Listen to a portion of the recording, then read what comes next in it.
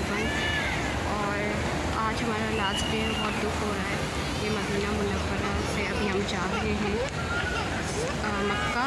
और हमने जहर की नमाज़ पढ़ ली। है और अभी जहर का टाइम हो रहा है। और मुझे बिल्कुल भी अच्छा नहीं लग रहा। बहुत अफसोस हो रहा है। लेकिन मेरी यही दुआ है कि फिर हमें अल्लाह पाक बुलाए। यहाँ पे दोबारा नसीब करें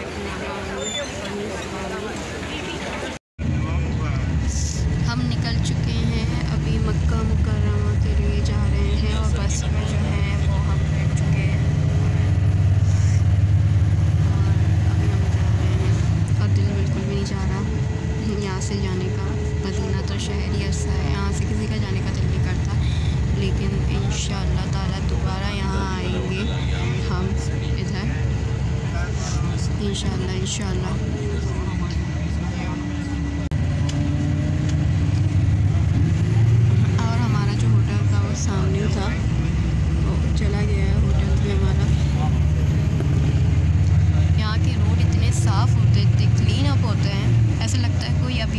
इंशाल्लाह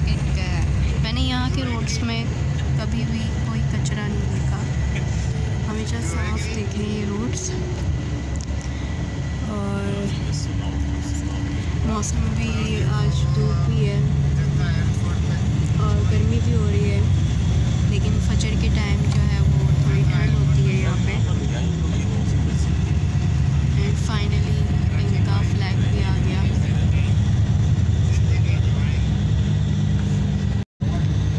फाइनली मिकात आ गया है और यहाँ सब एहराम अगर जो बांधना चाहे बाँध के आ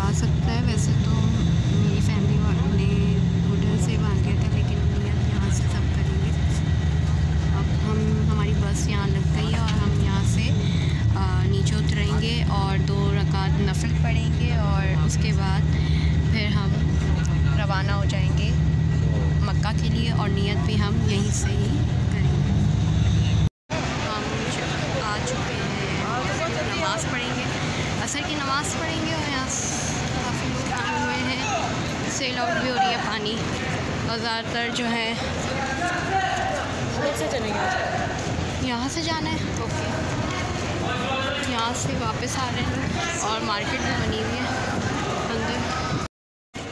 और यहाँ काफ़ी लोग आए हुए हैं। इंडोनेशिया बहुत आया है। इंडोनेशिया के लोग बहुत आए हुए हैं। और ये लोग बहुत ज़्यादा अच्छे हैं। और अक्सर यही होता था कि अगर मैं नमाज़ पढ़ने के लिए बैठी हुई होती थी मस्जिद में तो ये जो ग्रुप होता था, ये हमारे पास आ जाता था। और मेरे साथ ही बैठ जाते थे ये लोग और ये लोग बहुत ज़्यादा फ्रेंडली थी। इनफैक्ट इनसे मैंने एक चीज़ ज़रूर सीखी है, वो है स्वादी का ये मुझे मोस्टली ये कहती रहती थी।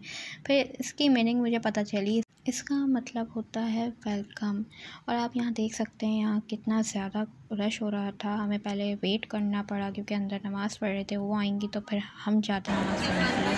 अलहमदिल्ला में इतने रश में जगह भी मिल गई और हमने नमाज़ भी पढ़ ली, नफिल भी पढ़ ली है और असर की नमाज़ भी पढ़ ली और हमने यहाँ से नीयत भी बाँध ली और अब हम चले जाएँगे बस पर बैठने के लिए।